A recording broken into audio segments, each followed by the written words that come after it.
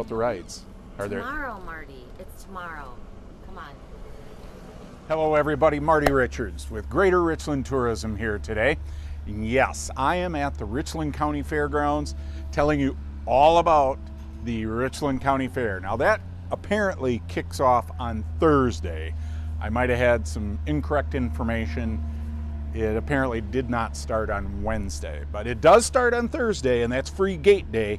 And you'll want to get in, uh, get a good shot to enjoy all of the food, the exhibits, the food, the rides, the food, the grandstand shows. Make sure you enjoy the food. I don't know if I brought that up. On Friday, Saturday, and Sunday also get you into the grandstand shows. And I know there's a tractor pull. A lot of locals enjoy the tractor and truck pull.